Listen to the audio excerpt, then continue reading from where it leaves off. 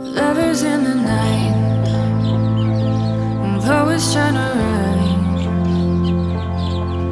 We don't know how to rhyme.